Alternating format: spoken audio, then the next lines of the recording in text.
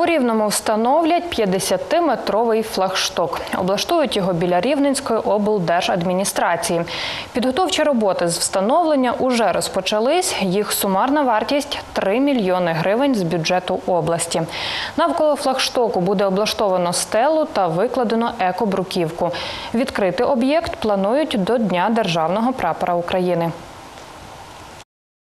Загальна вартість по проекту кошторисної документації 2 мільйона 998 тисяч гривень. Що передбачає проект будівництва? В першу чергу це буде влаштовано новий флашток. Його висота буде 50 метрів.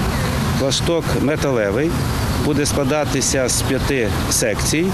Е, Діаметр самого флаштока, якщо взяти по верху, це 225 мм, по низу основи це 1225 мм. В тендері приймали участь три організації. Е, Першу було відхилено, мою визнано переможцем. Наразі укладена угода лише 26 е, травня.